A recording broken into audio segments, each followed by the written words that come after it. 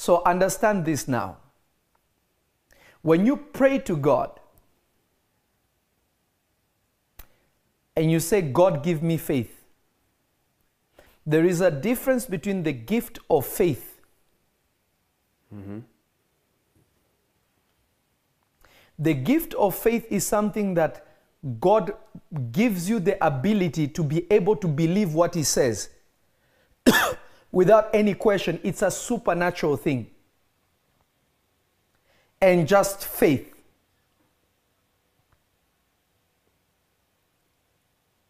When you pray to God, you say, Father, give me faith. God will give you His word. Amen. Faith is not a spiritual substance. Hmm. it's the accumulation of the information that is coming from the heart of God. Faith is the accumulation of information, the word of God entering a person. So you cannot acquire faith unless you hear God. So if you pray, you say, Lord, give me faith, God will give you His word because faith is a result of the accumulation of His word. Hmm. So somebody wants to become stronger and mightier in faith. You don't receive faith by prayer. Faith does not come because you prayed. Faith does not come because you fasted. Faith does not come because you, you, you prayed 24 7. No. Faith is simply the accumulation of the word or information coming from God. This is what the Bible says My people perish because of lack of knowledge. So, why is God saying people are perishing because of lack of knowledge? Remember what the Bible says the just shall live by faith. Mm-hmm. So, God is saying you're being destroyed because you lack faith. But you read it, read it in, in, in, in, the, in the Old Testament, you realize that God is talking about information because faith is information. Mm. What makes you to believe a person is the information they give you. Mm-hmm. Yeah, that's true. If you go to court, you have to present your case.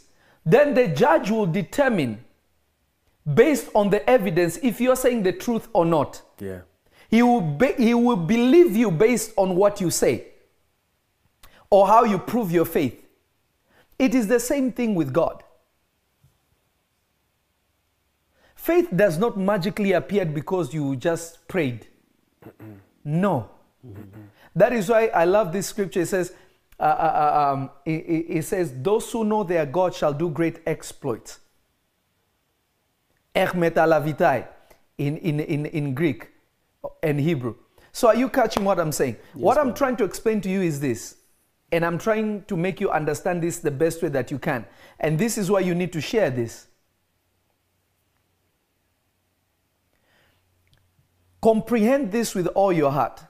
There is no shortcut to faith.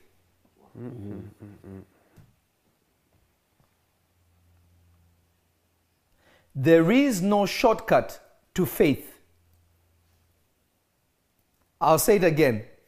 There is no shortcut to faith. Amen. Amen. I'll say it one more time.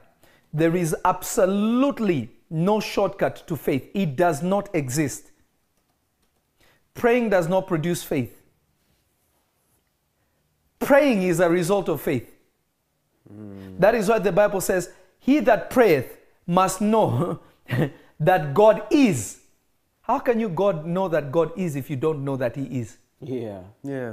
So prayer itself is a result of faith. Let's let's read it in the Bible. Hold on. Mm. I just feel something in my spirit now. Amen. Ah, Lord Jesus. Are you ready? I want you to go to um, I want you to go to Hebrews chapter 11. And I'm going to explain something in Hebrews chapter 11 and then and then uh, I want you to read uh, verse 1. Amen. Verse 1 to 3. Hebrews 11, verse 1 to 3. Now faith is the substance of things hoped for, the evidence of things not seen. Read it one more time. Now faith is the substance of things hoped for, the evidence of things not seen. Uh huh.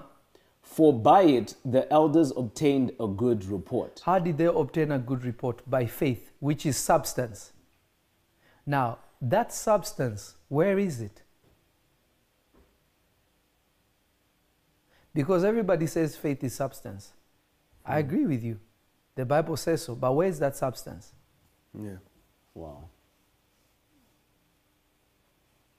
So faith is not just saying, I have something that I don't have, but you have to understand the location of that substance.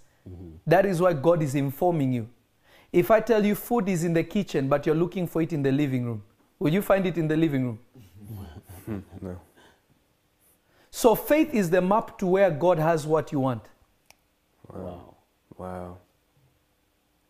If you want to go to the to a, a neighborhood or a business you've never been in, you go on Google Maps.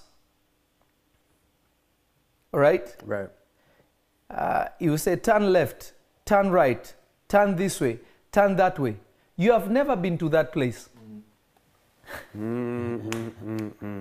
But you are trusting what it is telling you Yeah. because you know it is pointing somewhere that you have never been, but you're going with it. Why?